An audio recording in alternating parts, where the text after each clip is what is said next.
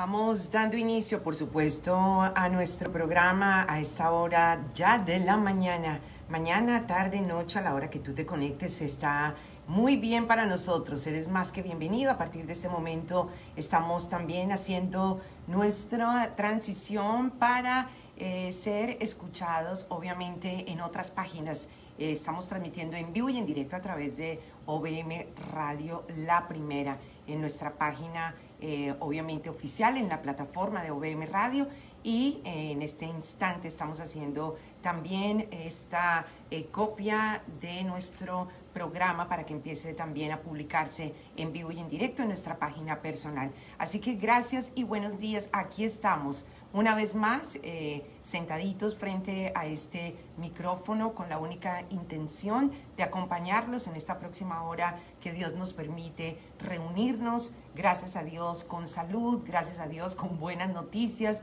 Hasta hoy, gracias a Dios podemos decir que eh, estamos libres de COVID, ¿verdad? Que sería uno de los temores más grandes cuando has estado expuesto o cerca a una persona que tiene COVID. Gracias a Dios, mi hija salió negativa el día de ayer después de tener siete compañeros de su trabajo con COVID.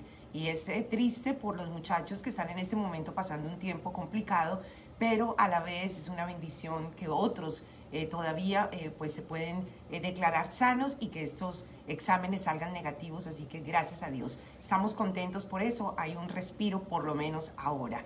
Así que gracias a todos los que estuvieron pendientes ayer, a los que me ayudaron a orar, para que todo estuviera bien aquí en nuestra casita. Hoy es jueves ya, 6 eh, de, 7 de enero para el año 2021, 7 de enero para el año 2021. Estamos en una mañana de jueves, eh, soleado en algunas partes, nublado en otras, lluvioso en otro.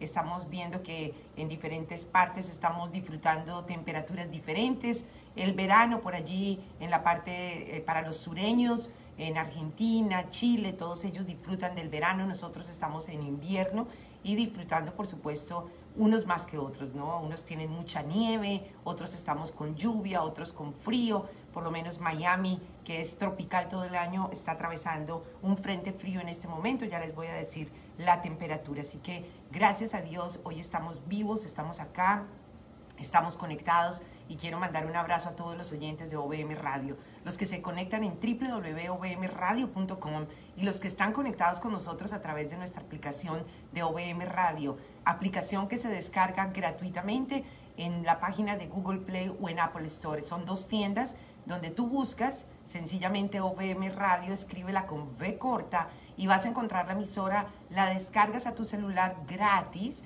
y entonces puedes escuchar la emisora cada vez que quieras, no solamente el programa de la mañana. Hay programación 24 horas, 7 días a la semana. Por cierto, hablando de nuevos programas de OBM Radio, estamos de manteles largos, estamos de fiesta, estamos estrenando un programa la próxima semana. Esta servidora comienza un nuevo programa que va a ser en la tarde, eh, solamente los miércoles y por una temporada. Vamos a hacer una serie de temporadas durante todo este 2021 y la primera temporada comienza este próximo miércoles 13 de enero a las 5 y 30 de la tarde. Es horario diferente al que están acostumbrados a verme. Seguiré en las mañanas, pero el miércoles tenemos un programa eh, nuevo que se llama Historias de Impacto con esta servidora. Yo sé que muchos de ustedes, aún siendo noche en donde estén viviendo, quizás con siete horas de diferencia, a la medianoche están todavía despiertos y van a poderse conectar con nosotros. No se pierdan a partir del próximo miércoles historias de impacto, 5 y 30 de la tarde, vamos a estar conectados aquí en esta misma página donde te conectas todos los días para vernos en la mañana, puedes hacerlo en la tarde. Vamos a tener historias que seguramente van a dar un poco eh, de, fe, van a poner esperanza en tu vida si tienes alguna situación que estés atravesando y te va a mostrar eh, estas historias de impacto que Dios sigue siendo ese mismo Dios maravilloso, ese mismo Dios tierno, ese mismo Dios que hace milagros, un Dios que cambia los diagnósticos médicos y los hace posibles cuando nosotros podemos creer y cuando Dios tiene un plan, por supuesto. Estaremos hablando de muchas historias que seguramente muchas arrancarán lágrimas de nuestros ojos y parecerá mentira, pero es la misma persona la que compartirá su experiencia. Estaremos tratando en esta primera temporada el tema del COVID, que es algo que ha tocado tantos hogares y que está afectando actualmente a tantas personas. Así que por favor, márquenlo en su agendita, eh, miércoles 13 de enero, 5 y 30 de la tarde a través de OBM Radio, la primera. Transmitiremos para todas nuestras plataformas, OBM Radio, la emisora. Estaremos eh, obviamente en nuestras páginas en Facebook. Quedará también como un podcast y quedará en nuestro canal de YouTube para que ustedes puedan después compartir ese programa que seguramente va a tocar el corazón, como digo, de tantas personas. Estoy viendo aquí en mi camarita de mi celular que me transmiten lo que estoy viendo atrás que se acaba de apagar nuestro arbolito que creo que está sacando la mano. ya él está diciendo suficiente, o sea, me has tenido prendido más de dos años todas las mañanas eh, y él está diciendo ya como que necesito un cambio. Parece que tiene un pequeño corto y bueno, mi esposo está de ingeniero eléctrico tratando de arreglarlo, pero creo que necesita otra ayudita. Estuvo prendido casi 40 minutos porque cuando llegué aquí a esta parte de la casa, al estudio, lo prendo porque me acompaña allí, pero no, él decidió apagarse en pleno programa, me hace quedar muy bien este arbolito. Pero bueno, así como ven este arbolito en este momento, así están los árboles aquí en Little Rock, aquí afuera, porque están pelados, pelados, pelados porque obviamente estamos en invierno y si cae nieve, como prometen la próxima semana, esos arbolitos así pelados se ven llenos de copitos de nieve. Así que vamos a ver qué pasa, pero este árbol hoy apagado representa estos arbolitos de invierno, por lo menos aquí en este sector del país. Bueno, avancemos. Nuestra palabra de hoy está en el Salmo 126, 5.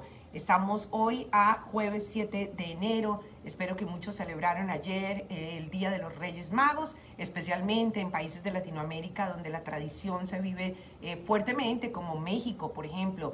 Yo sé que en otros lugares de Latinoamérica se celebran los desfiles con los Reyes Magos interpretados, pero ahora con la pandemia, pues yo sé que han cambiado un poco la celebración. Pero los niños no perdonan. Si tú le enseñaste a tus niños que el Reyes Magos hay regalos, a ellos Puede haber pandemia, lo que sea, pero esperan su regalito. Así que espero que hayan podido celebrar saludablemente. Eh, por aquí Ninfa pregunta por mi nena y le doy gracias porque yo sé que mucha gente se está empezando a conectar, pero voy a dar el reporte ahora y más tarde a beneficio de los que se conectan a diferente hora. Mi nena salió negativo ayer al examen de COVID eh, fue mm, eh, de verdad, ella dice que le dolió más que el primero que se hizo. Dice, uy, esta vez sí me salieron lágrimas de los ojitos, se me puso la nariz roja. La primera vez que le hicieron el test se lo hicieron por un solo huequito de la nariz, esta vez se lo hicieron por los dos. Y ayer ella regresó a su trabajo con la novedad. Ella trabaja en un restaurante muy exclusivo aquí en Little Rock y es host, son las que están en la, a la entrada del restaurante y reciben a las personas y las llevan a las mesas con todo el protocolo de higiene y con todos los cuidados que los restaurantes están teniendo, no dejan de ser un punto peligroso para COVID. Tanto es así que mi hija ayer cuando salió del trabajo a las 10 de la noche me dijo, mami, eh, realmente fueron siete compañeros que tienen COVID. En este momento, siete compañeros de ella, jovencitos, poquito de pronto más grandes que ella. Mi hija es la menor, tiene 17, pero allí hay jóvenes de 20, 25, 30 años que en este momento están en cuarentena y tienen el COVID. Así que ella, eh, le damos gracias a Dios que se libró en esta ronda de COVID, ella salió negativo. Y por ende fue una tranquilidad para mi esposo y para mí, que estábamos muy atentos de cómo iba, qué iba a pasar con nosotros si ella salía positiva. Pero afortunadamente aquí todo el mundo está bien por ahora seguimos confiando en Dios, damos gracias a Dios, gracias a todos los que oraron por mí ayer y por mi hija y gracias a los que hoy están preguntando en este momento. Bueno, quiero mandar, antes de seguir con nuestro versículo del día, antes de que se me olvide, saluditos para personas muy especiales que se han sumado a la audiencia de Un Día a la Vez a través de OVM Radio. Quiero saludar a Manuel Marshall, este chileno de Viña del Mar que nos escucha desde Estocolmo, Suecia. Él descubrió el programa buscando a Claudia, su amiga, o sea, mi tocaya, que trabaja obviamente en OBM Radio y tiene un programa que se llama Bienestar Único de Salud. Y él quería buscarla a ella y se encontró conmigo en la mañana y desde ahí se quedó conectado con nosotros. En Estocolmo también tenemos diferencia de horario, por supuesto. Así que Manuel, un abrazo para ti, buenas tardes y gracias por estar con nosotros desde Estocolmo, Suecia. También quiero saludar a Jacqueline Gutiérrez desde Nicaragua y a Esperanza Vergara desde Perú, eh, perdón, Esperanza Vergara desde Bogotá y Sony García desde Perú. Creo que Colombia, Perú son de los países que tienen más audiencia en nuestro programa junto con Argentina. Así que un abrazo para todos los colombianos, peruanos, argentinos y latinoamericanos en general que están conectados hasta ahora con nosotros. Un abrazo entonces para Manuelito, al Tiropo. Estamos saludando a toda la colonia chilena que se unen con nosotros, a los nicaragüenses, a los colombianos, a los peruanos y a todos los iberoamericanos. El versículo de hoy, como lo estaba diciendo, está en el Salmo 126.5 y dice lo siguiente, los que sembraron con lágrimas, con regocijo segarán. ¿Has llorado este tiempo? ¿Sufriste este año que se acaba de terminar lo indecible? ¿Estuviste deprimido, triste? ¿Tuviste pérdidas? ¿Perdiste tu trabajo? ¿Perdiste un ser querido, un amigo, un familiar? ¿Estás eh, pasando momentos eh, difíciles? Bueno, hoy hay recompensa para todos los que hemos pasado esos tragos amargos. El 2020 se fue y dejó una cantidad de luto, de, enfermedad, de personas sin trabajo, eh, problemas económicos en el país y en varios países del mundo, por no decir la gran mayoría, ¿verdad? Pero hoy dice la palabra de Dios en el Salmo 126, 5, los que sembraron con lágrimas, con regocijo, segarán.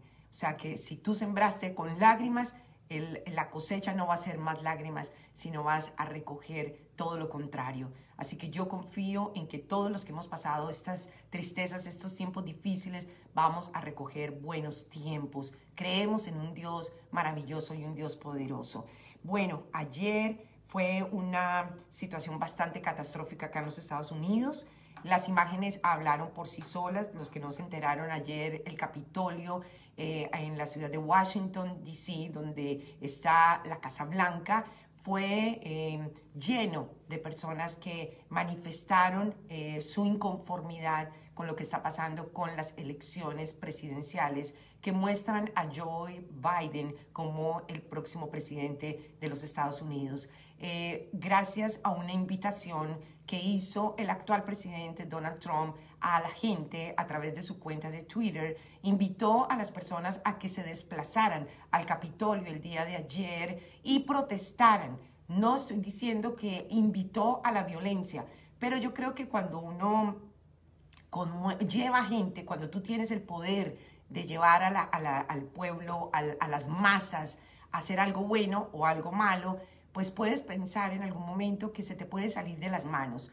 Estoy completamente segura que el presidente de los Estados Unidos, el señor Donald Trump, no calculó, por decirlo de alguna manera, oh, llegó la luz y la luz se hizo, se prendió mi arbolito, qué belleza, va a estar en un, en un prende y apaga, qué bueno, qué bueno que se prendió. Bueno, eh, estoy segura que, quiero estar segura, mejor dicho, todavía quiero dar el beneficio de la duda, quiero estar casi segura que el presidente Donald Trump jamás se imaginó que la gente que él mismo convocó a que se hicieran presentes en el Capitolio iban a llegar a este extremo de llegar armados, violentos, romper vidrios, eh, matar a, personas y causar el pánico, el desorden, el pésimo testimonio y todo lo que le podamos agregar al día gris que vivió ayer la ciudad de Washington. La verdad que da vergüenza, da tristeza porque yo soy eh, una persona que eh, comprendo muy bien que nosotros tenemos derecho a, a, quejarnos. Estoy de acuerdo que hay momentos en que uno debe salir y quizás protestar, pero nunca pasar la raya de la violencia, del vandalismo, de por qué si voy a protestar entonces rompo cosas, mato gente, golpeo a la gente, hago desorden. O sea, ¿qué tiene que ver una cosa con la otra? Desafortunadamente las personas que eh, hicieron esto eh, y que fueron arrestadas el día de ayer, dijeron las noticias a casi a la medianoche que la gran mayoría ni siquiera vivían en Washington. Es personas que se movieron, de hecho, la, el hombre que aparece sentado en el escritorio de la señora em, que, que, invadieron allí en la oficina eh, eh, de Nancy Pelosi, eh, era un hombre de Arkansas, ni siquiera vivía en, en Washington, porque esto fue una invitación que el presidente actual hizo a través de su cuenta de Twitter hace ya varios días. Y la gente se preparó para ir allá. De hecho, conozco muchos pastores que viajaron a Washington con la intención de orar y de que las elecciones no sean robadas, que es el, el punto que llevó a la furia ayer a las personas. Pero, repito, quiero entrar y dejar todavía el beneficio de la duda de que el presidente no pensó ni calculó que la gente que llegaba, llegaba, allí iba a llegar con esa furia, con esa ira y que iban a hacer ese tipo de desastre que hicieron ayer en el Capitolio, que le hubiera podido costar incluso la vida al mismo presidente, al vicepresidente, a cualquiera de los senadores que estaban ahí reunidos, a tantos periodistas y tanta gente que vive en ese lugar. Por favor, tenemos que entender que en el Capitolio eso es una ciudad, eso adentro hay una cantidad de personas. No es llegar a romper vidrios porque es que estoy bravo porque me robaron las elecciones. No se trata de eso hubiera sido lindo que hubieran protestado respetando el Capitolio, que es algo sagrado para los países. O sea, los lugares que tienen Capitolio son una belleza, pero no se trata de llegar a romper, de montarse allí en esas estatuas, ponerles pañueletas y eh, con armas y mostrar como esa violencia porque no estoy de acuerdo en algo. Creo que uno puede salir a la calle a protestar, pero siempre teniendo en mente que yo no, que, me estoy exponiendo, porque esa muchacha que mataron allí en el Capitolio, eh, se habla de cuatro muertos, pero la persona que vimos en televisión agonizar, desangrarse en el piso del Capitolio, fue víctima de su propio invento. Es una persona que se unió seguramente a este grupo de personas que decidieron hacer vandalismo y meterse a la fuerza al, Capitolio y llevaron como resultado heridos, eh, heridas y en este caso de esta joven mujer, la muerte. O sea, qué tristeza morir uno por causa de otra persona que está pensando lo mismo que yo, que está en la misma situación, con una bala que atraviesa y te cae en la cabeza y no la pudieron ayudar. O sea, por más de que trataron de ayudarla, la mujer temblaba en el piso y se murió eh, después. Entonces, es muy triste. La verdad que lamentamos lo que está pasando acá en Estados Unidos, lamentamos la imagen que estamos transmitiendo. Es una salida muy triste la que está dejando el presidente Donald Trump, con todo respeto a todos los, los que siguen a Trump, a, todos los a toda la gente que sigue a este señor yo quiero decirles que no se trata de fanatismo. Miren, en este momento, y ya vamos a hablar, pero tengo que hablar esto porque si no me van a salir letreros. Yo digo una cosa. Está bien, somos cristianos, está bien. No vamos a discutir eso. No vamos a discutir que somos seguidores de Jesús, que vamos a la iglesia, que oramos. Todo eso está lindo, perfecto, qué bueno, excelente. Dime tú, dime tú, por favor, o ponme por lo menos un versículo acá en el chat del programa donde diga la Biblia que tú tienes que insultar, que tú tienes que violentar a una persona que no piense como tú.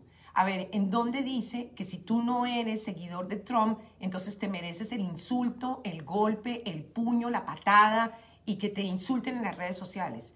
O sea, ¿dónde está eso? Anoche eh, tuve que entrar a la cuenta que tengo eh, de, Facebook, donde tengo un grupo que es comunitario, eh, donde desafortunadamente se pusieron a pelear dos señoras.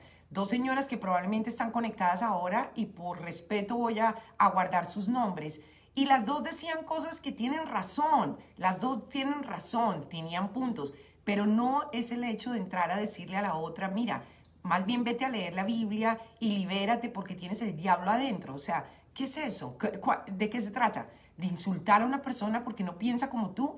Por favor, si tú eres cristiano y eres de los que estás poniendo en las cuentas de redes sociales que Biden es un demonio y ponen fotos con Biden y el diablo atrás y con Trump y Jesús orando por él, yo estoy segura que Jesús no está nada de acuerdo, ni Dios tampoco, con esa violencia y ese odio que ha levantado el presidente Trump. Él puede ser no a favor del aborto, él puede ser quizás un hombre que ha hecho cosas muy buenas por este país, pero tiene un ego que sube hasta las estrellas y ese ego no viene de Dios. Otra cosa, esas ínfulas de, de, odio y ese odio que él ha sembrado en este país, eso tampoco viene de Dios. Entonces, como escribió alguien ayer en ese chat que se puso interesante, hasta que yo dije, ¿saben qué? Vámonos a dormir ya, no hablemos más de política ni religión.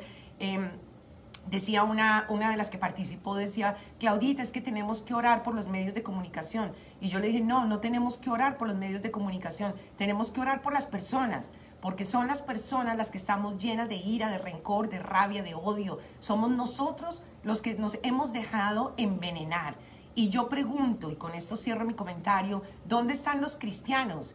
El cristiano no es el que se va a Washington a pelear y a tomar fotos y selfies de todo lo que está pasando. Y mira, fui a Washington con mi iglesia y estuve allí presente. ¿Qué estuviste haciendo? Nada. Lo que tendríamos que estar haciendo los cristianos, como lo dije ayer en mis redes sociales, es orar, doblar rodillas y callarnos la boca, porque calladitos nos vemos más bonitos. Es una vergüenza lo que los cristianos están haciendo a través de las redes sociales. Muy pastores, muy pastoras, muy líderes, pero mandan una cantidad de veneno a través de las cuentas de redes sociales. Ya uno no puede saludarlas, porque si uno lo saluda, no, si has visto ese diablo lo que está haciendo, no, es que el país se volvió comunista. Miren, les voy a decir algo más. Si Biden realmente es un comunista, como Maduro, como Chávez en su momento, como el señor de Nicaragua o cualquiera de estos eh, que conocemos que son realmente izquierdistas, quiero que sepan que ya hubiera habido un cambio en este país, porque el señor Joe Biden estuvo dentro del de el, gobierno del el señor em, Obama. O sea que ya hubiera habido un cambio, ya hubiera habido una influencia si realmente ese señor estuviera interesado en que este país se vuelva comunista. Entonces no repitas como un loro lo que le escuchas a la comadre, lo que le escuchas a la vecina, de que este país vamos a ser la próxima Cuba, vamos a ser el próximo Venezuela. Miren, si esa fuera la intención de Biden y de Obama, lo hubieran hecho en los dos gobiernos que tuvieron hace eh, cuatro años. Entonces, por favor, controlemos los comentarios. Si tú dices ser un hijo de Dios y un cristiano, en vez de estar indagando y, metiendo más candela de la que tenemos, apacigua mis ovejas, apacienta mis ovejas, dice la palabra. Nosotros somos llamados a ser luz y no tinieblas. Estamos llamados a llevar la paz, no a alborotar a la gente.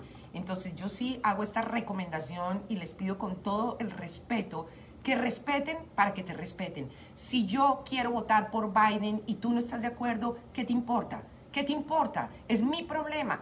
Ahora, mucha gente dice es que Biden apoya el aborto y luego es que con el gobierno de Trump no hubo abortos. ¿O ustedes creen que nadie abortó en los cuatro años que acaba de terminar el gobierno? Entonces, dejemos de tomarnos de pequeñas cosas que realmente no van a cambiar la humanidad. Este mundo no lo cambia nadie ni Biden ni Trump. El único que cambia los corazones de raíz se llama Jesucristo. Él es el mismo de ayer, hoy, siempre y el único que podrá transformar los países. Pero para que eso suceda y para que tú y yo veamos un cambio en nuestros países, ¿sabes qué dice la Biblia? Si mi pueblo se humillare y reconocieran sus pecados y le pidieran perdón a Dios, entonces Dios sanará nuestra tierra.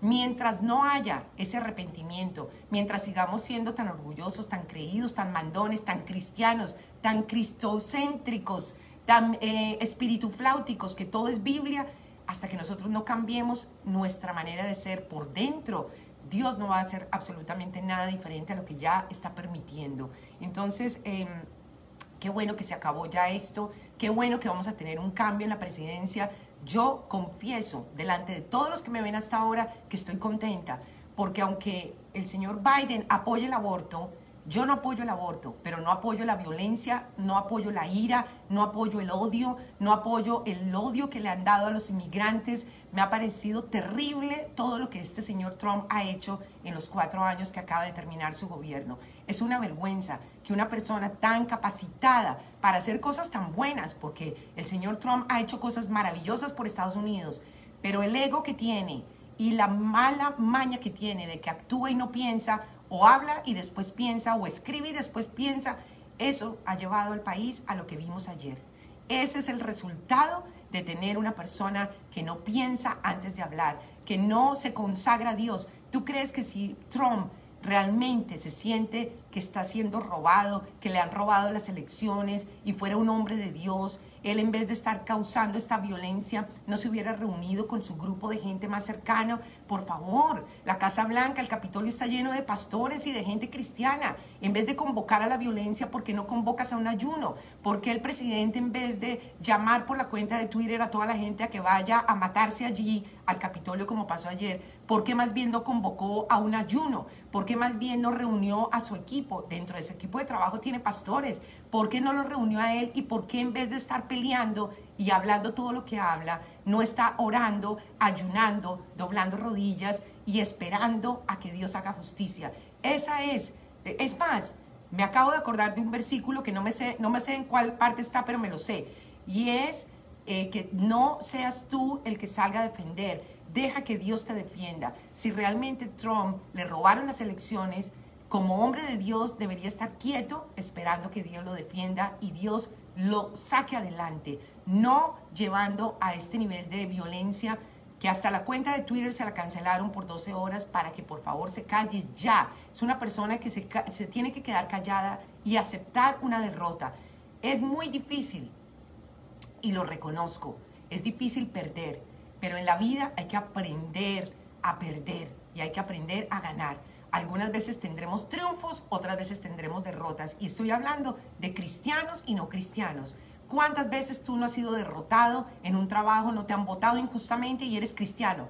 Entonces, eh, si Trump es cristiano como dice que es, entonces que acepte la derrota. Como tantas personas en la Biblia nos mostraron la derrota y doblaron rodillas y confiaron en Dios y finalmente, si es de Dios que Trump sea el presidente de esta nación por segundo mandato, pues Dios lo hará, pero no lo va a hacer a punta de violencia, ni a punta de ira, ni a punta de estas convocatorias que lo único que traen es dolor, mal testimonio, desastre, desorden y que hubiera podido terminar como terminó, como han terminado en otros países, quemando el Capitolio, eh, como sucedió en Colombia hace tantos años, que tomaron también allí el Palacio de Justicia y tuvieron que entrar tanques de guerra y hubo una, una matazón de gente.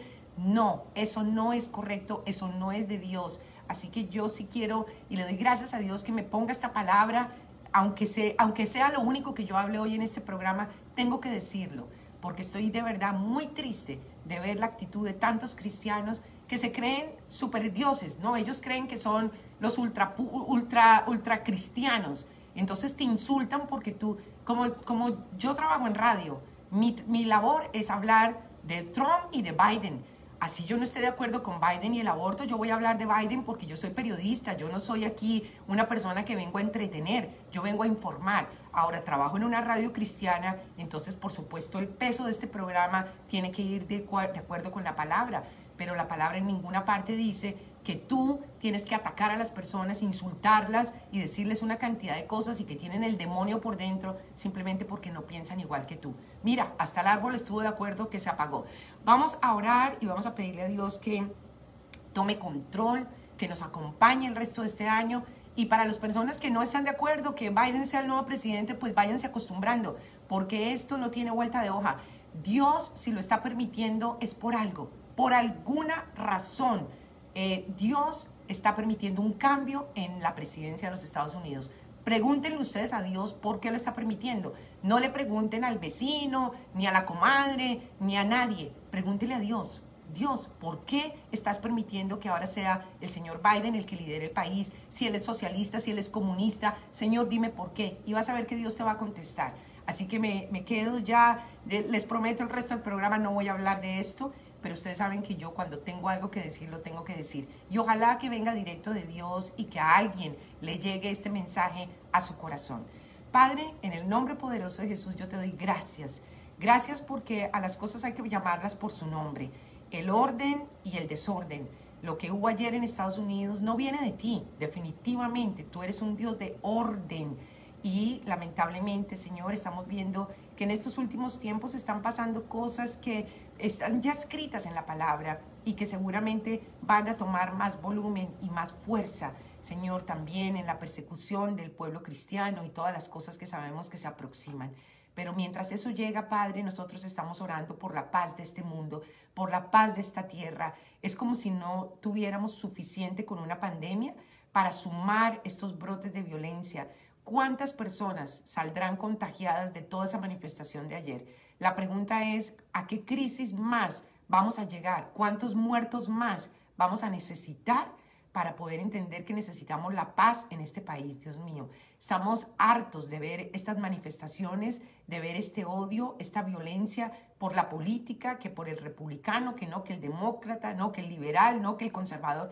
Señor, ayúdanos a entender que si seguimos así, vamos a terminar muy, pero muy mal porque esto está llevando a este país, que en algún momento fue un país de bendición, está llevando a ser un país que cada vez da más tristeza, Señor.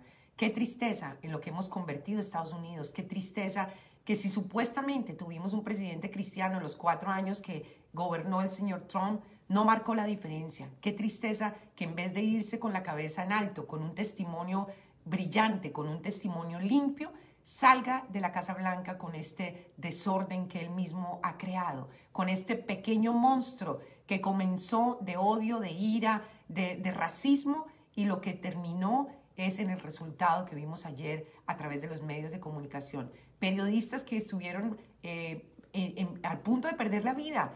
Hubo tiros, hubo de todo, hubo muertos. Señor, qué tragedia grande hubiera podido pasar si esto no se controla el día de ayer. Gracias damos a ti, Padre, por esa, eh, los policías y la Fuerza Armada que se sumó a cuidar ayer a Washington, que entraron en un toque de queda, que lograron calmar los aires y sacar a estas personas sin que hubiera necesidad de más violencia de la que ya hubo. Oramos por las familias de estas cuatro personas que perdieron la vida, oramos por todas las personas que quedaron traumatizadas, que quedaron afectadas, heridas y contagiadas, porque allí en medio de todo lo que había, había gente sin tapabocas, se les olvidó por un día completo que había una pandemia y que estamos en crisis de salud.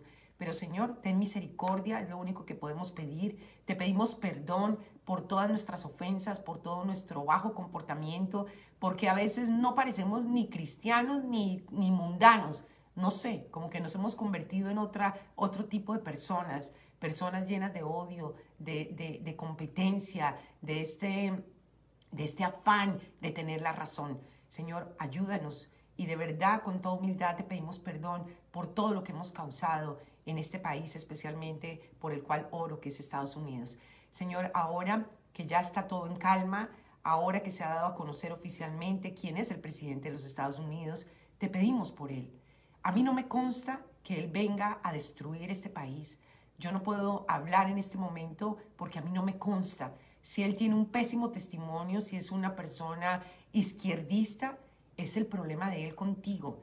Nosotros como hijos de Dios, lo único que debemos hacer es orar por él. A partir de este momento, por él, por la señora Harris, por todos los que van a estar en este gobierno, Señor, para que tú les des luz, sabiduría, para que los rodees de personas cristianas, pero de verdad, Cristianos no de estos escandalosos, sino cristianos de verdad, que buscan tu rostro, que oran, que doblan rodilla, que convocan a oración y no a desorden.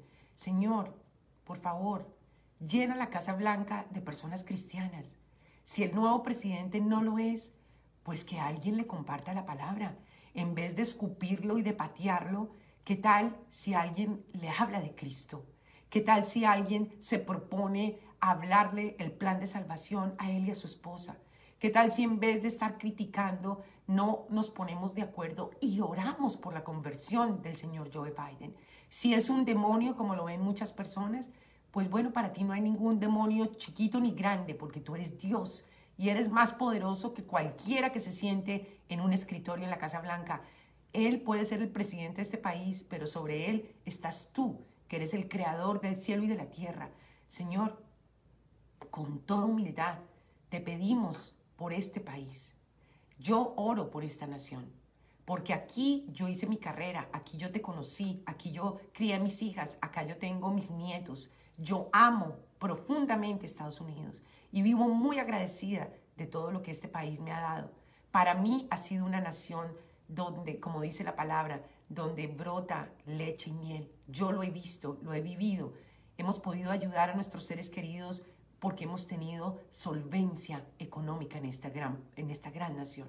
Así que oramos por este nuevo presidente. Si hizo desastres en su pasado, pues qué tal si empieza a hacer cosas buenas por este país. ¿Qué tal que nos sorprenda con un gobierno de verdad limpio? Bueno, démosle la oportunidad, Señor, en tus manos entregamos al señor Joe Biden, a su esposa, que es toda una maestra, no es una campesina ni es una recogida por allí, es una maestra, es una persona educada y estoy segura que al lado de su esposo, ella va a ayudarlo. Rodéala a ella de mujeres cristianas, mujeres de testimonio, mujeres de fe, para que ellos empiecen a buscar de ti. Yo sé que él habló ayer de, ti, Señor. El señor Joe Biden habló ayer a la nación y te nombró varias veces. Permite que ese corazón que mencionó tu nombre no sea en vano, sino que realmente él tenga en sus pensamientos que necesitamos de ti en este momento, en este país. Señor, en tus manos estamos. Entregamos Estados Unidos en tus manos. Ya no más violencia, no más ira, no más rencor. Señor, que podamos vivir estos próximos cuatro años de la mejor manera. Señor, y ayuda a las personas que van a hacer caso a las, a las facilidades que van a tener ahora. Si es el aborto, Señor, siempre ha habido aborto. Con Biden o sin Biden, el aborto ha seguido y seguirá, porque las mujeres que no quieren un hijo se lo van a sacar como sea con Biden o con Trump, porque los abortos no han parado en estos cuatro años que ha estado Trump de presidente, que no está de acuerdo con el aborto, no está de acuerdo con el matrimonio gay y se han casado, todos los que han querido se han ido a vivir juntos. Entonces, Señor, de verdad, de verdad, de verdad te pedimos que seas tú guiando a este nuevo presidente. Es lo único que te podemos pedir. Tú dices en tu palabra que si nos ponemos de acuerdo en algo, tú desde el cielo escuchas. Y hoy aquí nos estamos poniendo de acuerdo para que tú tengas cuidado de este país, para que tú tengas cuidado de esta gran nación, para que ayudes a todas esas personas que van a ocupar la Casa Blanca con personas cristianas, personas de fe, creyentes que puedan marcar la diferencia, que den testimonio, en vez de dar mal testimonio, sean luz en medio de la oscuridad. ¿Cuántas lámparas necesitamos en este momento? No necesitamos pistolas, necesitamos lámparas que alumbren el camino de los que están perdidos. Esa es la, la labor y el llamado de todos nosotros. Gracias, Dios mío.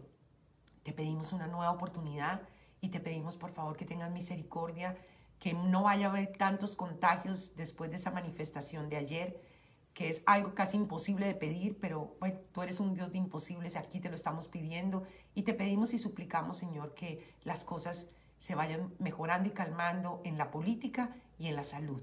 Te lo pedimos con todo el corazón. Permite que las vacunas sigan llegando, se sigan vacunando las personas para que esta pandemia se frene de una vez por todas. Oramos por el estado de California que está en crisis en este momento. Las imágenes que se ven en los periódicos, en los celulares, es impresionante. La gente en los pasillos, en los corredores, en la calle, conectadas a Em, tanques de oxígeno muriéndose en la calle porque no pueden entrar al hospital, no hay camas. Señor, oramos por esta grave crisis que vivimos a nivel de pandemia, a nivel de salud y oramos también por todos los países de Latinoamérica, del mundo. No podemos solamente ser tan egoístas y orar por Estados Unidos. Oramos por toda Iberoamérica, oramos por toda Europa. Señor, oramos por toda Asia.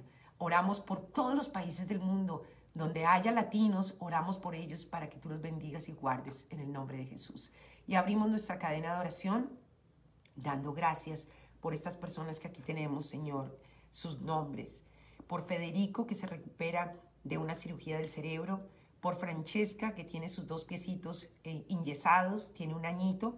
Por Micaela, que tiene problemas de salud. Por mi amigo Mario Carvajal, que sigue conectado a un ventilador y con sus riñones lastimados. Oramos por Ivonne, por Mía, por Ismael, por todos los amiguitos de mi, de mi nena Annie en el restaurante. Siete de sus compañeros tienen COVID.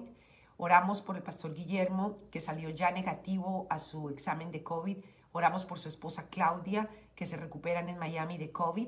Eh, oramos por Maurena, que se ha sentido bastante enfermita en estos últimos días. Oramos por Marixa, que tiene cirugía el próximo 21 de enero. Oramos por todos los enfermos, por todos los que van para quimioterapia, radiaciones, diálisis, terapia física ocupacional, terapia de habla. Oramos por todos los que están presos en este momento. Oramos por toda nuestra familia. Oramos por nuestras finanzas y trabajo. Y oramos para que tú nos des paz en nuestro corazón. La paz que sobrepasa todo entendimiento en Cristo Jesús. Gracias, Papito Dios, por escuchar nuestra oración. Oramos en el nombre del Padre, del Hijo y del Espíritu Santo. Amén y amén. Bueno, ya faltan 20 minutos para las 8 de la mañana. El programa prácticamente se nos ha ido. Eh, sí, la culpa es mía porque yo tuve que tomar unos minutos para hacer un llamado a la conciencia. Así había un programa cristiano, se llamaba Llamado a la Conciencia. A veces tiene alguien que salir y hablar. Sabes que eso se hacía desde los tiempos de Jesús. Salían a hablar a las calles.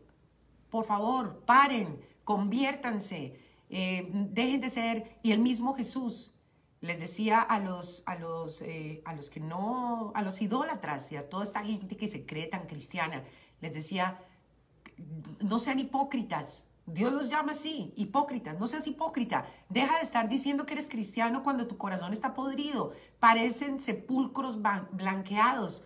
Eh, les, nos habla fuerte. Jesús habla muy fuerte en la Biblia. A veces nos dice eh, nos dice de todo. No quiero ni sacar las palabras que Jesús dice, pero para que nos diga que somos como tumbas vacías, imagínate que te comparen con, un, con una tumba de un cementerio. Somos sepulcros blanqueados y, y, fariseos. Mucha gente tiene que salir a orar para que la vean. Ay, mira, viajé a Washington porque soy pastor, mírenme, voy a ir allá a orar. Déjame saber qué hiciste ayer en Washington si estuviste allá. Déjame saber cuánta gente se convirtió o a cuántas personas llamaste a que se convirtiera ayer en vez de estar tomándote selfies allí en el Capitolio con toda la gente que estaba. Ay, Dios mío, la verdad que la gente es un plato. Un plato es un caso, ¿no? Traducido de mi idioma bogotano. Eh, hoy vamos a hablar del papel del enojo en los conflictos y es que de verdad que los conflictos no paran, ni siquiera en las mejores familias. Pues miren el conflicto que tiene este país, nada más miren las noticias un poquito. Eh, dice este, este libro hoy, ¿quién no? Y es una pregunta, a ver, ¿quién no ha experimentado enojo en uno o en otro momento? Lo que hace más difícil cuando uno se enoja con alguien dirigido de la familia, cuando va dirigido a alguien de la familia. Además de la negación a perdonar, el enojo puede convertirse en un veneno que causará un gran dolor y sufrimiento en el hogar, la familia y en las relaciones en general. El que tenga oídos para oír que oiga. ¿De qué te sirve estar tan enojado? ¿De qué le sirve al presidente estar tan enojado? Es mi pregunta. Si dice aquí que es convertirse en una persona llena de veneno, que causará dolor, sufrimiento y obviamente problemas en las relaciones en general. La palabra dice en Efesios, voy a leer acá Efesios 7, 9, no te apresures, escuchen bien, no te apresures en tu espíritu a enojarte, porque el enojo reposa en el seno de los necios. Ay, ay, ay. No te apresures en tu espíritu a enojarte, porque el enojo reposa en el seno de los necios. Si estás enojado por algo, si estás enojado con alguien, si estás frustrado por alguna situación que estás viviendo, en lugar de dejarlo flotar como una nube oscura sobre tu vida, convierte ese enojo en algo positivo. Ora por los que te lastiman y te maltratan y perdónalos y conviértete en una bendición para ellos. Miren que esta palabra que estoy leyendo hoy, no la busqué para sostener o respaldar lo que dije en la primera media hora del programa. Quiero que sepan que lo que dije en la primera hora del programa, media hora, salió de mi corazón, porque tengo mucha tristeza de ver lo que veo. Pero esta parte que estoy leyendo es la continuidad de nuestra serie que estamos hablando sobre los conflictos. Pero podemos ver claramente que Dios está en el asunto, porque vemos claramente cómo Dios dice acá en la palabra que si tú estás enojado por algo, en vez de dejar que ese enojo se convierta en una nube gris en tu vida que te persigue para donde vayas, conviértelo en algo positivo. Primer consejo, si estás enojado, aquí viene el segundo consejo, que es lo que dije referente a Trump, que en vez de invitar a la violencia, ponte a orar. Dice, ora, ora, ora por los que te lastiman y te maltratan y perdónalos y conviértete en una bendición para ellos. Probablemente no sea fácil al principio, pero cuando tomes la decisión y la sigas, Dios se encargará del resto. Por eso cuando dice la palabra, no te defiendas tú, yo soy tu abogado, yo soy el que te defiende, deja de, tomar la, violencia por tus manos. Eh, no, es que Claudita, mi esposo me traicionó con otra, entonces yo me voy a conseguir otro y se lo voy a restregar. No, eso no es lo correcto. No estás llamada a ir a ponerle los cachos a tu esposo y pasarle esos cachos por encima por violencia, por venganza. La venganza es mía, dice el Señor. Eso es lo que dice la palabra. Ahora, dice aquí, a veces la raíz de la ira proviene de características de los hogares en los que crecimos. Las personas que son amargadas, enojadas, eh, eh, que son airadas, como los llama la Biblia, a menudo provienen de familias que son así, porque aprendieron de sus modelos y siguen el mismo comportamiento de vida. Si yo desde niña vi a mi papá o a mi mamá que eran furiosos, histéricos, neuróticos, volaban platos, licuadoras, puños, patadas, bueno, Dios mío, eso fue lo que me tocó vivir, entonces yo estoy llena de, ese, de esa ira y de ese rencor. Las personas enojadas a menudo, dicen los expertos, vienen de familias donde ellos aprendieron lo mismo porque finalmente es lo que le transmiten a sus hijos. A veces la ira puede ser el resultado de necesidades no satisfechas o de celos, como fue el caso de Caín, que lo condujo al asesinato de su hermano. Si nosotros no controlamos los celos, Sí, eh, y, mira que lo estamos hablando a nivel de líderes grandes, como un presidente, o lo estamos hablando como una cabeza de hogar, o lo estamos hablando a nivel de colegas de trabajo. Si tú no controlas los celos de trabajo, no controlas los celos con tu pareja, no controlas los celos como líder, vas a llevar a un caos a tu familia, vas a llevar a un caos tu iglesia, vas a llevar a un caos tu país y vas a llevar a un caos tu negocio aunque tengas razón para estar enojado, no utilices como excusa el enojo para seguir así. Consejo número 3. Consejo 4. No niegues el motivo real ni trates de justificarlo. No, porque es que como me robaron las elecciones, se merecen prender el Capitolio y matar a todos y darle patadas y puños a la policía y, salir con banderas y protestar, y no solamente protestar, sino meterme a la Casa Blanca, sentarme en el Capitolio, en los muebles que no me corresponden, voltear los escritorios y hacer lo que yo quiera porque estoy enojado. Es como los niños cuando tienen dos años, que se les conoce en inglés como los Terrible Two, porque a los dos años los niños hacen unas pataletas espectaculares y te hacen quedar pésimo delante de la familia, delante de la gente. Los niños a los dos años, si tú no le compras un dulce, se te botan al piso y te hacen la pataleta en el restaurante, en el cine, en la calle, no les importa. ¿Por qué? Porque ese niño quiere que le compren el dulce y como mamá no se lo va a comprar, entonces me boto al piso, pataleo, grito, lloro, pego y, y hago un desastre. No, muy mal, dice aquí. Quizás tengas una buena razón para estar enojado, pero no utilices el enojo como excusa para seguir así. No niegues el motivo real ni trates de justificarlo. Más bien, consejo número 5, pídele a Dios que te ayude a resolverlo en forma positiva. ¿Tienes un conflicto en tu hogar? ¿Tienes problemas con tu marido? ¿Tienes problemas con tu esposa? Tienes problemas con tu compañero de vivienda, tienes problemas con tu jefe, tienes problemas con tus empleados, no los maltrates, no los insultes, no les muestres la rabia y frustración que tienes. ¿Qué dice el último consejo? Más bien, ora, ora y pídele a Dios que te ayude a resolverlo en forma positiva.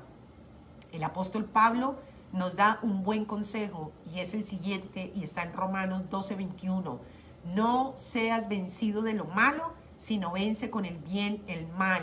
Y quiero leer una última, un último versículo que está en Santiago 1, 19 al 20 y con esto cierro. Por esto, mis amados hermanos, todo hombre, y cuando habla de hombre, eres tú y soy yo, hombre y mujer, Por esto, mis amados hermanos, todo hombre sea pronto para oír, tardo para hablar y tardo para irarse. Airarse es enojarse. En Colombia tiene un, término que lo voy a decir, pero no es grosería. Suena, pero no lo es. Emberracarse. Es que estoy berraco. Así dicen los colombianos. Es que estoy berraco. Estoy emberracado, dicen. Es que es estar enojado. El versículo 20 dice, porque la ira del hombre, escuchen bien, porque la ira del hombre no obra la justicia de Dios. O sea que de qué me sirve ponerme histérico, furioso, convocar a violencia, armar un desastre, hablar pésimo, escribir en las redes sociales, todo lo que estoy haciendo, si Dios finalmente no me está poniendo atención. Porque dice la palabra, porque la ira del hombre no obra la justicia de Dios, porque Dios obra cuando hay paz, cuando hay amor, cuando hay justicia. Pero si tú eres una persona que porque tú crees que te mereces estar enojado, entonces vas a ser un desastre, pues Dios va a dejarte en el piso como el niño de dos años a que se le pase la pataleta. El niño de dos años, en vez de recibir el dulce que está pidiendo, lo que va a recibir son las palmadas de la mamá o del papá que lo van a levantar, le van a dar sus buenas palmadas y le van a decir, ¿sabes qué? Última vez que te portas así en el restaurante y no hay dulce para ti. Eso es lo mismo que va a hacer Dios con nosotros. Podemos estar con mucha pataleta, podemos estar en mucho desacuerdo con el presidente Biden, que va a hacer eh, no lo queremos, no creemos en lo que él cree, pero si nosotros vamos a estar llenando este país de odio porque no estamos de acuerdo que Biden es el nuevo presidente, Dios no escucha la ira del hombre y no habrá justicia de Dios. En resumidas cuentas, tú quieres un cambio en tu país, quieres un cambio en tu familia, quieres un cambio en tu vida, bájale a la ira, bájale al orgullo, bájale a ese tono que tienes de, de mandón, de gritón, de ofensivo, porque eso no va con Dios. Cuando tú miras la vida de Jesucristo, que es el ejemplo perfecto que tenemos, ¿cómo se comportaba Jesús cuando lo maltrataban? Luego, ¿acaso Jesús se volteaba y les daba con las sandalias? ¿O Jesús se iba y, y Jesús tenía poder? Y Jesús hubiera podido a todos esos romanos, soldados romanos, haberlos enterrado en esa tumba donde lo pusieron a él y los hubiera podido quemar y desaparecer en un minuto. Pero él lo hizo, no lo hizo por obediencia a su papá, porque él quería cumplir con su padre. Entonces eh, Jesús teniendo el poder resistió todo lo que le vino encima. ¿Por qué? Porque él sabía cuál era el resultado final. El resultado final iba a ser la salvación. Poder que a través de su sangre derramada en la cruz como un corderito iba a traer salvación a este mundo caído. Entonces, ¿qué tal que Jesús se hubiera puesto enojado con todo el que lo escupió, con todo el que lo empujó, que se hubiera puesto a alegar con el que le dijo que cargara la cruz? No, ¿cómo así que cargue yo la cruz? Cárguela usted y tenga, le doy su puño. No, Jesús, súper humilde, súper humilde. Claro, hubo momentos en que Jesús se enojó y volteó mesas, porque Jesús cuando se enojó, se enojó. No les digo que les decía hipócritas a las personas, les decía cosas súper ofensivas, pero era que no se, él, llegaba a un punto en donde tenía que hacerlo. Entonces, por favor, no busquemos a Dios más. No busquemos la ira de Dios contra nosotros. ¿No les parece suficiente lo que estamos viviendo? ¿No les parece suficiente la pandemia y todo este desastre que vemos en nuestros países? Como para sumarle a esto, entonces nuestra ira, nuestra frustración, nuestro mal genio, nuestro mal humor, porque no estoy de acuerdo con algo, Ojalá esta palabra nos sirva para cada uno de nosotros, porque yo también la tomo para mí, yo también tengo que meditar sobre ella. Bendito Dios que yo no soy una persona de política, gracias a Dios que yo en este país no salí a votar, no puedo votar. Eh, no puedo votar por una sencilla razón, porque yo no soy ciudadana de Estados Unidos. Vivo en Estados Unidos hace 34 años y nunca, jamás me ha interesado hacerme ciudadana americana. No me cuestionen, simplemente respétenme, porque no se trata de que estén de acuerdo o no, sino simplemente no me parece que me tengo que hacer ciudadana de esta nación. Soy residente y he tenido que renovar mi residencia y estoy legal y trabajo legal, pero ciudadana americana no lo voy a hacer. Tengo mis razones de peso para no hacerlo. Mucha gente me dice, ay Claudita, pero los beneficios, ¿cuáles son tus beneficios de ser ciudadano? No es que no les dan ni siquiera el, retiro del Social Security, se lo roban eh, lo, dejan a los pobres viejitos viviendo con miserias ¿de qué estamos hablando? Para tener seguro médico, puedo ser residente y tener seguro médico. Entonces, ese es otro tema y harina de otro costal que no vamos a escarbar ahora. Pero el punto es que yo no salí a votar. Y si hubiera tenido posibilidad de votar, no hubiera votado por eh, la persona que ustedes piensan. No hubiera votado por Biden ni hubiera votado por Trump. Para mí, ninguno de los dos sería la persona que yo hubiera escogido. Pero no había más opción. Mucha gente votó por Trump porque dicen es lo más cercanito a, a la persona que lleva los principios. Pero si lleva los principios como los está llevando, pues entonces ya uno queda con un, déjame saber si esto es verdad o no. O sea que bueno, ahí lo dejamos. Vamos a cambiar el tema. Em, estamos hablando de que ayer pasaron cosas súper, súper tristes en la Casa Blanca, en el Capitolio especialmente, eh, después de que agitadores tomaran el Congreso para bloquear el triunfo de Biden. Se habla de que cuatro personas perdieron la vida.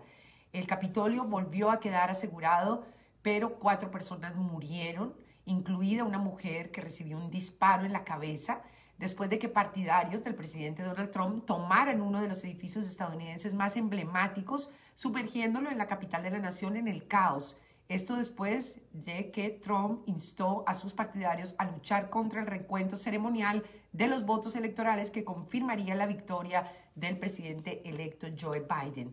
Después de la una de la tarde, hora de Miami, eh, cientos de agitadores pro-Trump atravesaron las barreras colocadas a lo largo del perímetro del Capitolio, donde se enfrentaron a agentes con equipo antidisturbios. Algunos llamaban a los agentes traidores por hacer su trabajo. Aproximadamente 90 minutos después, la policía dijo que los manifestantes entraron al edificio y que las puertas de la Cámara de Representantes y el Senado estaban cerradas, pero poco después la policía tuvo que evacuar la sala. El vicepresidente Mike Pence también fue evacuado de la Cámara donde debía desempeñar su papel en el conteo de votos electorales. Un enfrentamiento armado tuvo lugar en la puerta principal de la Cámara de Representantes a las 3 horas de Miami y los agentes de la policía apuntaron con sus armas a alguien que estaba tratando de romperla. También se fotografió un partidario de Trump parado en el estrado del Senado a primera hora de la tarde.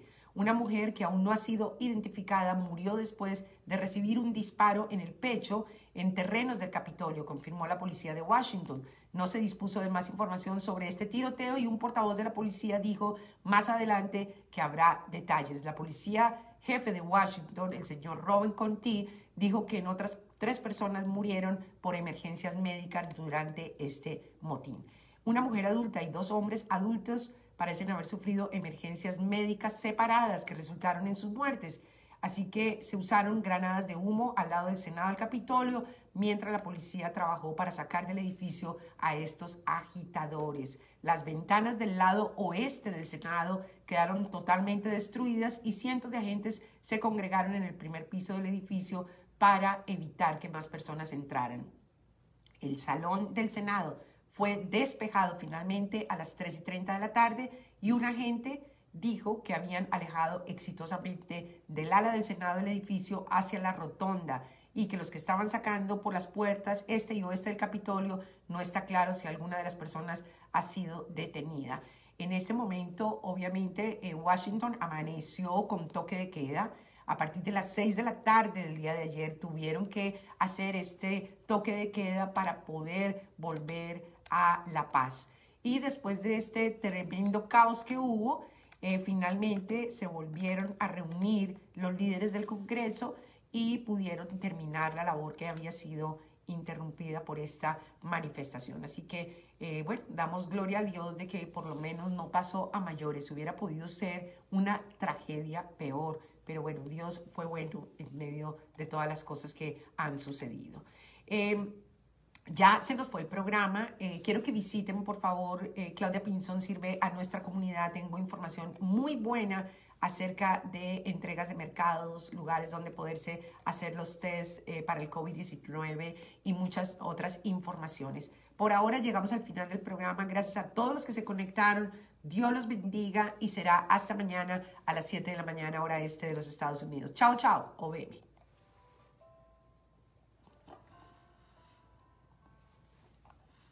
Nos despedimos de OBM y nos vamos a despedir en minutitos de aquí de nuestra audiencia de Facebook Live.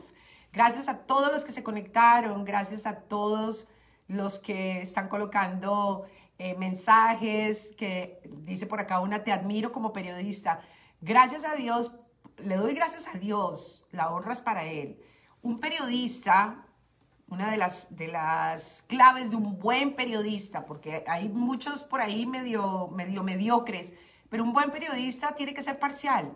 Un buen periodista no tiene que salir a atacar a ninguno de los dos partidos. Yo le pido al Señor mucha sabiduría y sobre todo poder guiar a la gente a, un comportamiento cristiano, porque no se trata de convencerte, oye, vota por fulano o vota por el otro. No, se trata de cómo soy yo como persona y que tengo que cambiar. Así que gracias por sus comentarios. A los que les gustó el programa de hoy, por favor, denle me gusta, corazoncitos y compártanlo con otras páginas para que mucha gente escuche lo que hay que escuchar.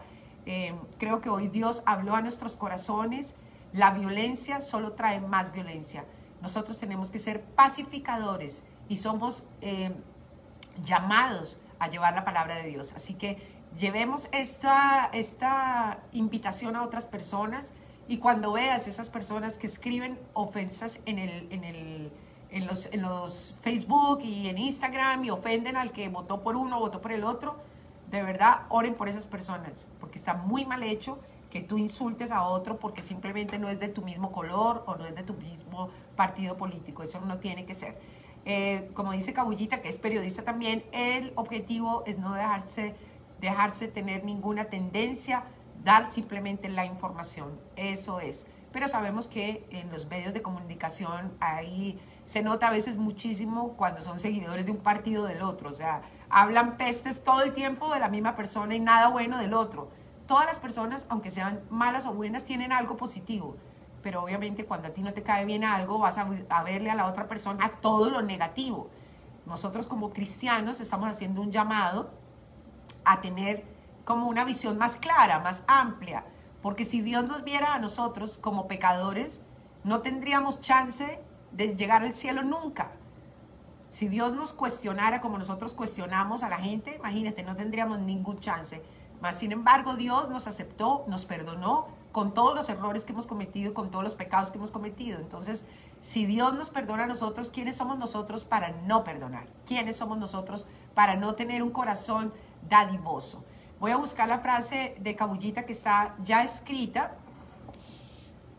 para ir despidiendo nuestro programa. Vamos a, a buscar la frase de Cabullita y después voy a dar una ronda de saludos por aquí una rondita de saludos. Un abrazo a todos los que se conectaron esta mañana. Tuvimos casa llena. Le damos gracias a Dios por eso, porque necesitábamos tener eh, personitas conectadas y que escucharan lo que Dios quería que habláramos en este día. Estoy, perdón que estoy aquí buscando un mensaje de mi cabullita que nos deja siempre excelentes pensamientos. Eh, a ver, ¿dónde estás? Ya voy llegando, ya voy llegando, ya voy llegando. Ya los voy a saludar. Momentico, momentico, un momentico. No lo veo, cabullis. Sabes que ayer me pasó lo mismo, no me dejó leer el mensaje porque hay unos que quedan guardados y los puedo leer después. Estoy buscando acá a ver si lo tengo. Saluditos para Manuel Suárez. Dice saludos, buenos días desde Uruguay. ¡Qué bien! Qué bueno tenerte desde Uruguay aquí con nosotros. Ministerio Casa de Dios, buenos días. Blanca Pineda dice muy buenos días, Claudita, bendiciones desde Sunrise, Florida. Pilar Espinosa, Mafer Maldonado, eh, nuestra ninfa Pantoja dice a nuestros nuevos radioescuchas, bienvenidos. Santa Cristiana, Mayra Maqueira, Katia Pacheco, también está por acá eh, Normita Cabañez, Adri Sierra, Lina González, Celaya López, Karen Cabrera, Estamos viendo mucha gente nueva conectada hoy. Bienvenido. Lina González dice buenos días Claudia Pinzón, excelente información. Anita Peña, Luz Dunlap. Eh, también Edwin Cruz, Ángel, bienvenida. Helen Sinesterra Bolaños. También Sandra Susana dice, yo llamo a la paz y a la cordura. La violencia y el odio solo genera más violencia y odio. Dios tenga misericordia. Gracias, Sandrita desde Orlando, Florida. Margarita Espina dice, gracias Claudia por tus palabras, que Dios te bendiga. Saulo Gómez, Dilcia Estrada, Eh, Katia dice, estad quietos y conoced que yo soy Dios. Amén. Dominga Mercedes dice, buenos días Claudia, yo voté por Trump y ahora me siento con vergüenza. Rosaura Porras, eh, Margarita dice, buen, buen y bendecido día Claudita, Dios está en control, todavía está sentado en el trono. Amén. Eh, Raulito y Nacho dicen, aplaudo tu reflexión y te felicito por tu sensatez. Amén, gracias. María Noriega, Sirleni Clerk, eh, Crimiris Laurent Contreras, buenos días y bienvenida. También mi Lady Sánchez, eh, María Noriega, Barbie, tan linda. También Claire Pacheco dice un gran abrazo. Claudita, me alegra retomar tu programa devocional desde Arauca, Colombia. Dios te bendiga. Uy, qué rico. Desde Arauca. Tenemos gente en Colombia por todos lados. Juan Celaya, María Noriega, Glorita Espinosa, Jenny Alba, Gloria Espina. Jenny Alba dice, hola, buen día, bendecido día para todos. Gloria Espinosa dice, Señor, teme el control de esta bella nación, toma el control de esta bella nación en tus manos de amor, la depositamos hoy. Saulo Gómez dice, Claudia, buenos días. Juliana desde Perú dice, Dios te bendiga, Claudita, gracias al Señor por un nuevo día.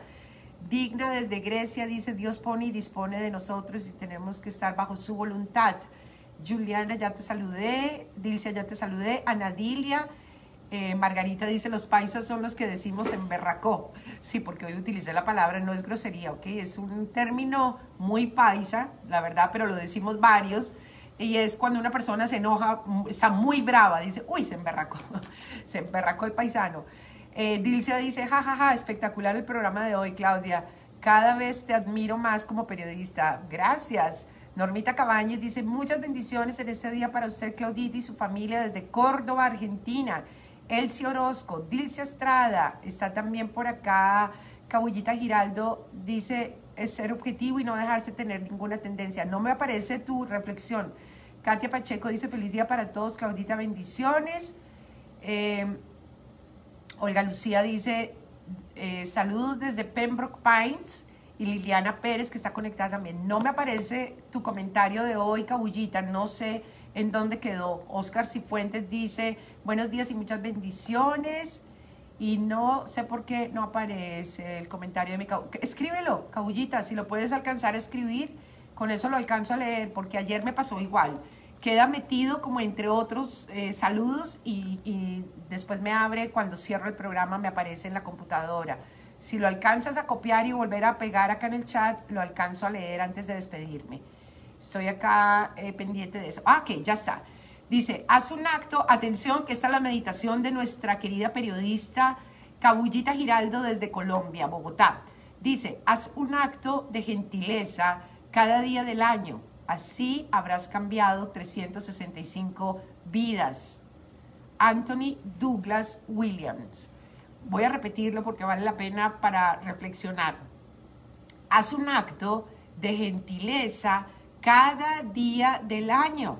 Así habrás cambiado 365 vidas. ¡Wow! Me encanta, porque si yo hago cada día algo bueno, al final del año, imagínate cuánta gente eh, he impactado con mis, con mis buenos eh, comportamientos, mi buena palabra, con esos actos, como dice eh, Anthony Douglas, de gentileza. Muy linda palabra. Gracias por compartirlo, Cabullita. Un abrazo. Liliana Pérez también, bienvenida y gracias. Bueno, antes de cerrar el programa ya de Facebook Live, quiero recordarles que el próximo miércoles 13 de enero comenzamos un nuevo programa que se llama Historias de Impacto con esta servidora. Estaré a las 5 y 30 de la tarde, hora este de los Estados Unidos, hora Miami, eh, comenzando este nuevo programa que es de temporada, donde vamos a tener historias de impacto, historias que nos van a poner a pensar, que vamos a, de verdad conocer un Dios maravilloso, un Dios que sigue siendo ese Dios que hace milagros, un Dios bondadoso y bueno. Eh, no se pierdan el programa, no es nada religioso, no se imaginen que es eh, cuando llegué a la iglesia y cómo me convertí, no, no, no, es un programa de impacto y sabemos que va a ser eh, en Dios un éxito. Tenemos invitados increíbles, internacionales, gente muy linda que se va a comprometer con nosotros a compartir su historia. No se pierdan historias de impacto a partir del próximo miércoles 13 de enero, 5 y 30 de la tarde, a través de OBM Radio. Todas las plataformas de OBM estarán transmitiendo, así que no se lo pierdan, pasen la voz. Un abrazo, un abrazo grande, cariñoso. Mañana nos vemos, mañana ya es viernes, nuestro fin de semana primero del año. Nos vamos a seguir cuidando. Recuerden que estamos en pandemia, eh, lavarse las manos frecuentemente, desinfectarnos las manos. Eh, distanciamiento social, si vas a estar en público, tapabocas. Y otra cosa muy importante tiene que ver con las gárgaras de agua sal. Yo estoy casi segura que una de las cosas que nos mantuvo o nos ha mantenido lejos de la pandemia, después de que mi hija estuvo con siete compañeros con COVID, es que nosotros hacemos gárgaras de agua sal, agua tibia con sal todos los días. Ya mi hija entró en esa rutina y ahora con este susto que tuvo, pues ahora las hace por la mañana y por la noche. Así que no nos cuesta nada. Sal tenemos todos en la casa, agua también con la ayuda de Dios, un poquito de agua tibia, una pizquita de sal, gárgaras y te acuestas a dormir con esa sal aquí en la garganta. La sal, la labor que hace es que te va a defender de que el virus, si entra por la nariz o boca, eh, llegue a la garganta y la sal que está alcalina ahí, en la garganta está alcalina, mate el virus. El problema del virus, del COVID o de cualquier otro virus es cuando entra y se estaciona en los pulmones, que es lo que más afecta este COVID-19. Entonces, si hacemos las gárgaras y te llegas a contagiar, Dios no lo permita, el virus muere acá a los cuatro días. Entonces, eso es un grito de victoria. Por favor, hagan las gárgaras. Eh, también ayer tuve una, eh, una charla con mi invitado del próximo miércoles, que es un enfermero, y me dio una clase espectacular y me dijo que tenemos que tomar zinc. El zinc eh, lo recomiendan tomar antes, durante y después del COVID, como los huracanes, antes, durante y después. El zinc, eh, de hecho yo ayer fui a buscarlo y estaba agotado porque muchas personas tienen que tomar zinc después de que pasan del COVID, pero aún estando con el COVID o antes de que nos, llegue, nos llegara a dar, tenemos que tomar tres cosas que las voy a repetir otra vez. Vitamina C, vitamina D y zinc. Ahora, agrégale a eso el té de jengibre con limón y todas las otras cosas que tú haces. Eso está bien. Las gárgaras, pero tenemos que tener vitaminas para que cuando el virus entre, nuestro cuerpo tenga buenas defensas y pueda batallarlo y no tener que hacer ese, llegar a esa triste etapa que mucha gente está en este momento conectadas a un ventilador. Eh, oremos por ellos y sabemos que mucha gente se está recuperando, pero otros lamentablemente no lo harán. La, la cifra es muy triste, eh, se las voy a dejar como un adelanto. Ayer mi invitado que va a estar conmigo el miércoles dijo que solamente el 70% de las personas que están en un ventilador se salvan el 70%, por, perdón, el 70 de las personas que están en un ventilador mueren, solamente el 30% se pueden salvar. Entonces es un gran número de posibilidad de que la persona no salga de un ventilador. Entonces, por eso tenemos que orar para que Dios acompañe y ayude a todas las personas que en este momento están tan, tan graves.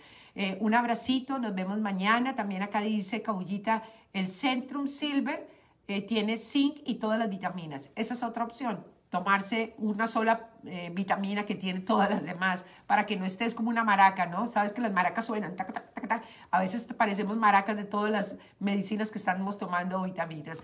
Un abrazo, se les quiere y gratis. Eh, por favor, compartir este programa y será hasta mañana. Chao, bendiciones, cuídense mucho. Bye, Bye, mira, mi arbolito no se apagó. Chao.